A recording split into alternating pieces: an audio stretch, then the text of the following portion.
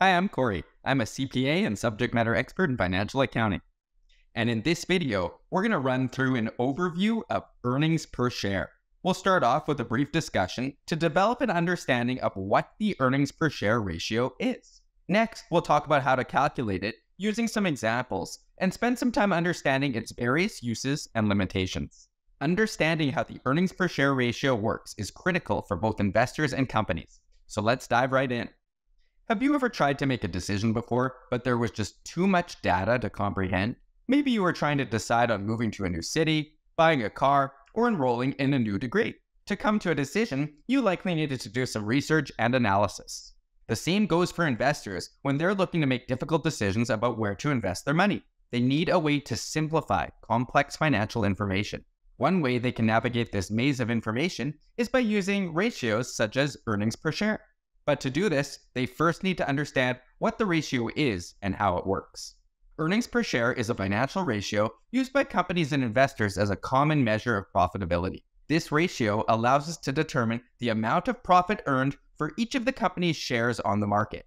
Public companies that report their financials under US GAAP or IFRS are actually required to list their earnings per share data directly in the body of their income statement.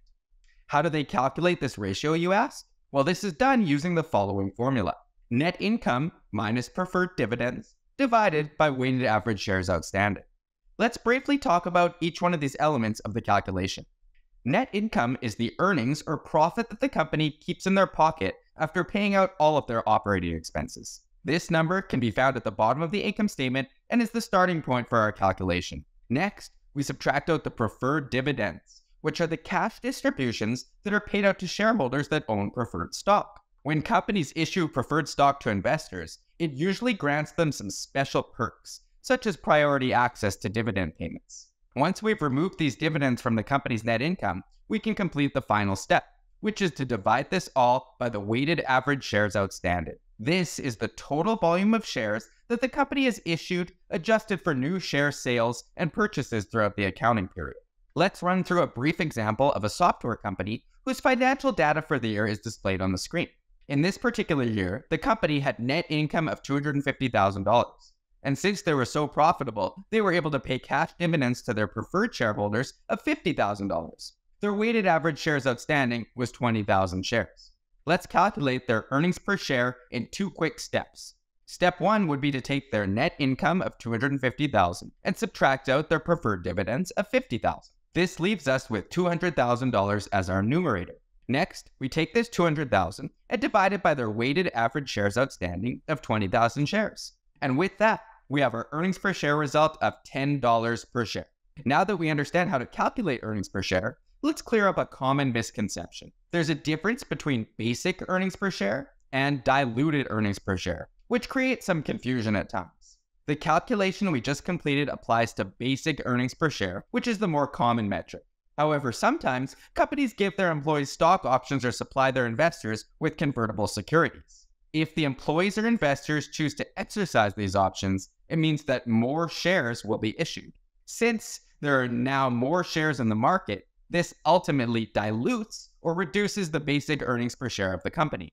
As a result, the company will now report two separate figures to distinguish between their basic earnings per share and their diluted earnings per share results. While earnings per share can be an extremely useful ratio, sometimes it receives some criticism around whether it's an accurate measure of profitability. While the ratio tells us about the earnings, it fails to take into account the amount of assets that were required to generate that level of earnings. For example, two companies with the same earnings per share figure will differ in overall profitability if one of them needed to invest in substantially more assets to generate these earnings. It can also be challenging to use earnings per share to compare companies. Company A and B could have the same overall earnings, but could show substantially different earnings per share figures. This could simply be as a result of company A having more shares outstanding in the market, thereby reducing its overall earnings per share result.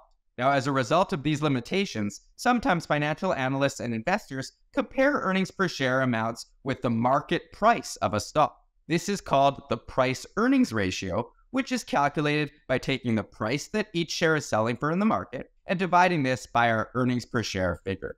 Let's circle back to our software company example from earlier, where the earnings per share was $20. Let's say the share price was $100 per share.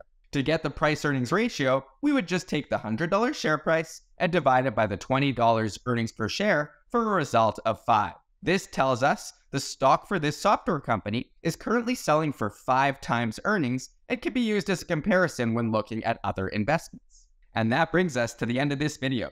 Earnings per share is an important financial ratio that provides insight into a company's profitability. Understanding this topic gives users of the financial statements the tools they need to make smarter business and investment decisions. If you're interested in learning more about this topic or others, please feel free to check out our additional videos on many more related topics.